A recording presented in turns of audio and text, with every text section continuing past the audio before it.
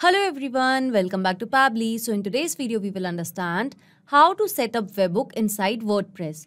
So Webhook acts as a bridge to connect applications and it helps to deliver the data to other applications as an event happens. So here let's assume that I am a blogger and my objective is that whenever I'm going to post a new post on my WordPress account, then I want to add the post details in a Google Sheet.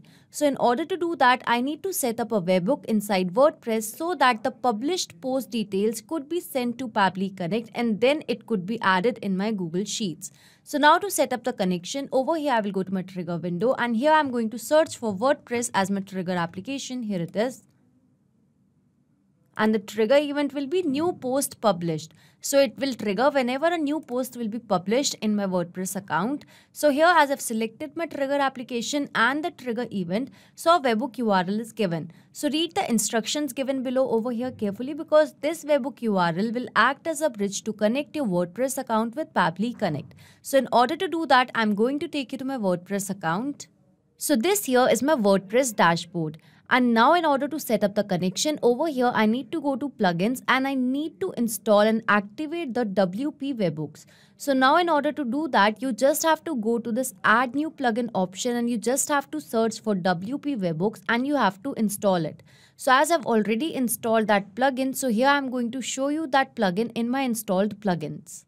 So here in installed plugins, you can see that I have already installed this plugin that is of WP Webhooks. So if you also want to install this plugin, you just have to go to plugins, you have to go to add new plugin and you just have to search for WP Webhooks and you can install the plugin. So as I've already installed it, so here I will go to settings and in settings, I will go to WP Webhooks. So here under WP Webhooks, I'm going to click on this send data because I want to send the data to Pabbly Connect. And over here you can see that there are various type of events that are given. So as per your requirement, you can select the event and send the data to Pabbly Connect. So as my objective is that whenever new post will be published on my WordPress account, then I want to send the details to Pabbly Connect. So here I'm going to select the event as post created. So here you can see that it says this webhook fires after a new post will be created. So I'm going to add a webhook URL over here. And now over here in the webhook name, I'm going to give the webhook a name as Pabbly Connect Webhook. So this here's the name of the webhook and now over here I need to mention the webhook URL.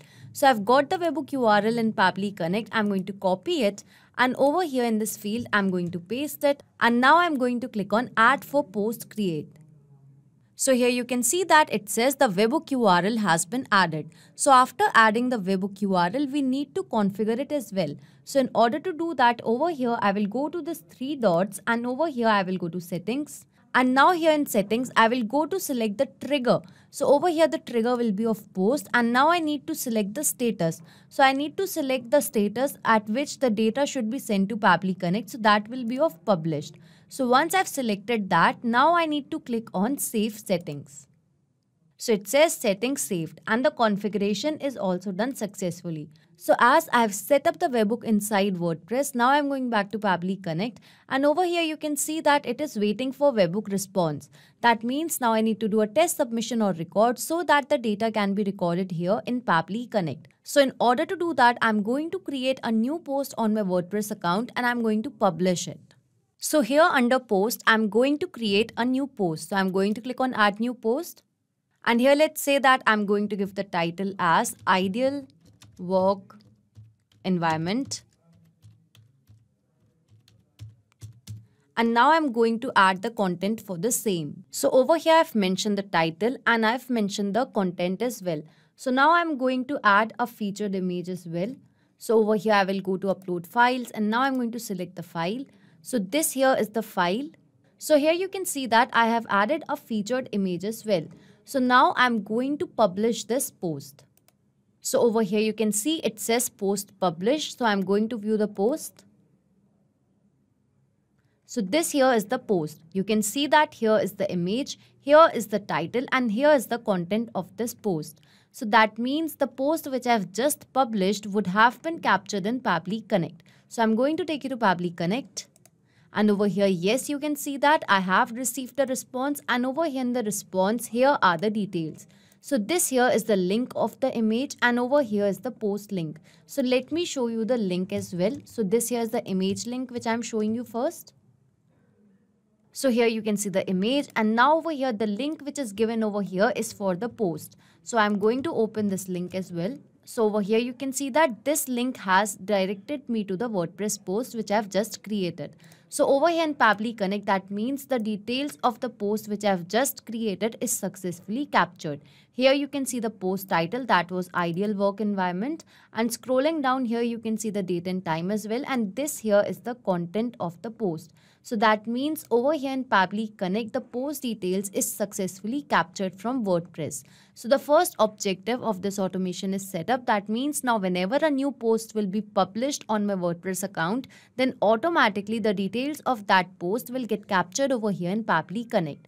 So this trigger will instantly capture the new incoming data and the workflow execution will start in real time.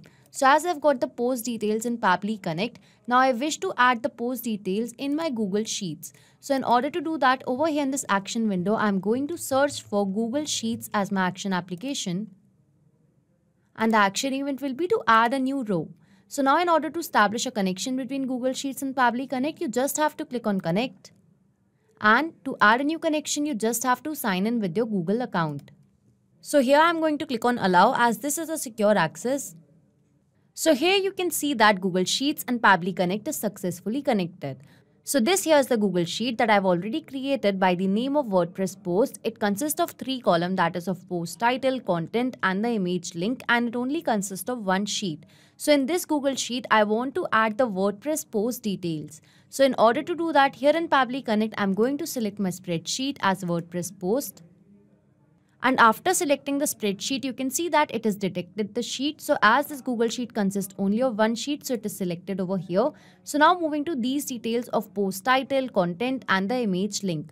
So here to mention the details in these fields, I'm going to use a method that is called as mapping. So basically mapping means to insert the data from previous steps. So as I've received the response from WordPress, so over here in these fields, I'm going to map it from that response. So now I'm going to map the post content and now here I'm going to map the image link. So this here is the image link and I've mapped it. So as I've mapped the details in these fields, this method of mapping is important so that every time you're going to receive a new response, so that response could be taken into consideration in these fields. If I would have written this information manually, in that case, this information could have become static, which means that it wouldn't change even if I would have received a new response. So in order to avoid that problem, we map the information. So as I've mapped the details over here, I'm going to click on save and send test request. So here you can see that I have received the response and this here is a positive response.